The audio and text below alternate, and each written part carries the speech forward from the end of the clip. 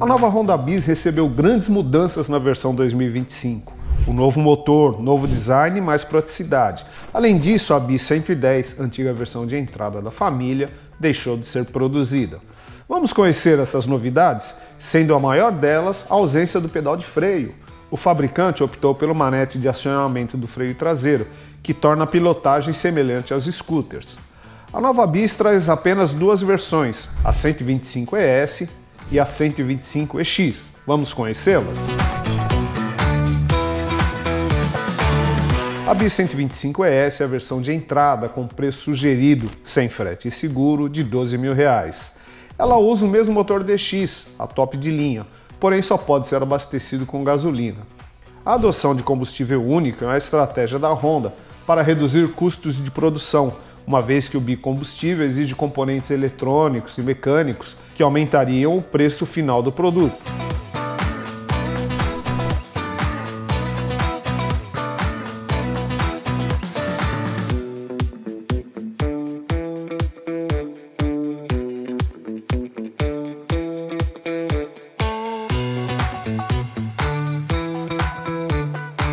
Números interessantes que, segundo uma edição do Instituto Mauá, permitem a velocidade máxima de 95,8 km por hora usando seu câmbio de quatro marchas.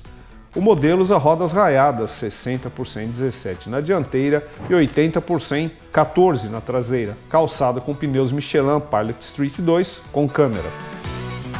O sistema de freio é do tipo combinado, com tambor de 130 mm na dianteira e na traseira. A suspensão continua com as mesmas medidas, porém recebeu novas calibragens nos tubos.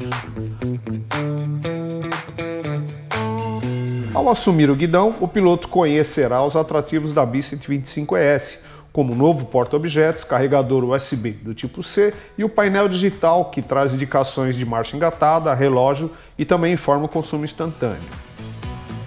A versão topo de linha da nova Bis veio recheada de atributos para justificar seu preço sugerido de 14.970. Ao assumir o guidão, o piloto recebe as informações no painel do tipo blackout, com indicador de marcha, relógio e consumo instantâneo. O carregador USB-C e o novo porta-objetos completam o cockpit do modelo.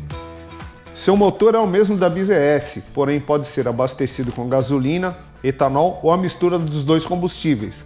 O número de desempenho não muda, não importa o tipo de combustível utilizado.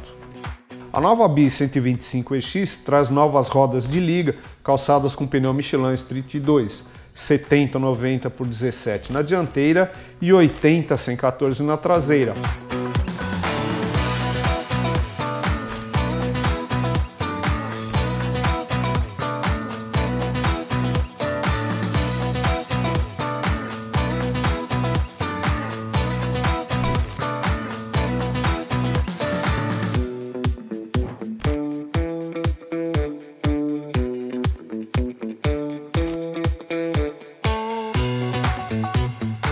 Peso a seco da nova Bi 125EX é de 96 kg, 4 kg a menos que a sua antecessora.